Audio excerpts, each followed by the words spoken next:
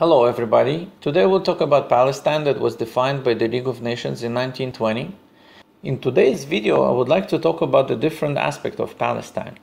Not its borders or legitimacy in terms of international law, but rather about the intent of its creation.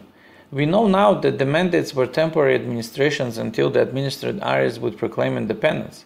But what was Palestine supposed to become? Um, a Jewish state or an Arab state or maybe both? In order to understand these things, we need to examine some legal documents. Uh, I will go chronologically. First of all, there was the Balfour Declaration. Though it was not a legally binding document at the moment of its creation, it did actually get a legal binding power at the San Remo Conference of April 1920. And it was done under the legal basis uh, of the Article 22 of the Covenant of the League of Nations, which in turn was legally based in international law. It was declared favor the establishment in Palestine of a national home for the Jewish people. I've heard the claim that in Palestine does not necessarily mean the whole Palestine, and that home does not necessarily mean a state. That maybe Palestine was supposed to be an Arab country with Jews in there. I know it sounds a little bit weird, but uh, let's see. I will try and see what was really intended by looking into some articles of the mandate for Palestine. Keep in mind that the mandate was not of Britain, but of League of Nations. Britain was the mandatory power that was answering to the League of Nations, which at that time was already 50 states. Uh, first, let's look at the preface. We can see that in here it repeats and confirms again that the Balfour Declaration is now in legal and binding effect. Please note that the preface for the mandate clearly states recognition to the historical connection meaning that the constant claim of Palestine by the Jews and their continuous presence in the land of Israel was recognized as the basis for a legal claim to that territory in terms of international law, which in turn makes the Jews sovereign nation in that territory and gives them undisputable basis to the claim that the whole Palestine was intended to be a Jewish state. But if I stop here, the video would be very short. So let's look at some more articles. Article 2 by reading this, we understand that the goal was to establish a Jewish home in Palestine.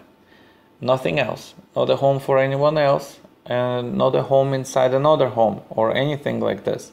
If the phrase in Palestine would not mean whole Palestine, this paragraph would look different.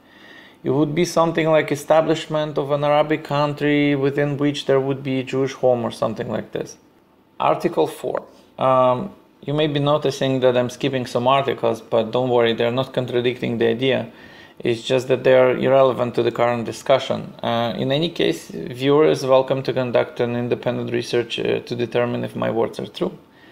So let's continue. In this case, we see that the Jewish agency will be selected in order to advise and cooperate with the mandatory administration. And it repeats again that the purpose of it is to ensure the interests of the Jewish population and there is no mention about Arabs or any other agencies. Article 6. This article legally binds Britain to facilitate Jewish immigration to Palestine. It, it doesn't talk about immigration of anyone else, it just says about the Jews. Also, the legal meaning of it is uh, if a Jew would like to come to Palestine and settle, Britain would not be able to stop him. Basis for that is that the Jews were recognized in international law as a sovereign nation of Palestine, while the mandatory powers, in this case Britain, they were just administrators. Good analogy would be a legal guardian for a child that inherited a huge house. Uh, the legal guardian cannot stop the child from living in that house. Article 7. Uh, in order to clearly understand this article, we need to understand uh, what nationality means in, uh, as a legal term. And nationality means citizenship, and nation means a country. For example, national holiday means a holiday that is celebrated by the whole country. George Washington's birthday is a national holiday in the United States. It is clearly shown in this article that Britain was charged with the responsibility of creating a citizenship law. It is also clear that only Jew could become a citizen of Palestine. By the way, citizen of Palestine is Palestinian. This article, which is the international law, states that Palestinian is a Jew. There is nothing in this article that is stating anything about Arabs or anyone else becoming citizens. Same as nothing in articles of the Syrian or Iraqi mandates say anything about the Jews. Now, please understand that this document was not a crazy racist paper that completely stripped everybody else from their rights and just gave everything to the Jews. The Balfour Declaration itself, which was the first document that led to all of this, mentioned the rights of the local communities, by which it meant not only Arabs but also different religions like uh, Christians, Druze, Muslim, or anyone else. Uh, Article 9, 11, 14, 15, 23, and 24 all have ensured the interests of different communities in Palestine, each in respect of different issues such as rights to settle in the land or observe their own religious holidays. Okay, now that we have examined the articles of the mandate, I want to straighten my point a little bit by looking at some other sources rather than the mandate. When Churchill started to issue his illegal white papers that were violating the Jewish rights in Palestine, there was a conference that was held and Chaim Weizmann, Churchill, Balfour, and Lloyd George were present. Uh, Chaim Weizmann just asked them a plain question. He said, What did you mean when you gave us the Balfour Declaration?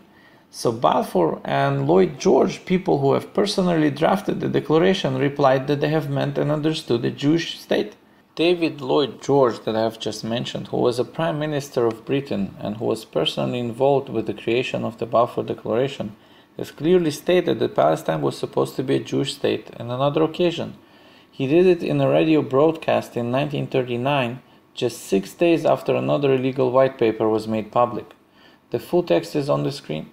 And finally, the conclusion to this video is that the mandate for Palestine was formed with one and only purpose the creation of an independent Jewish state.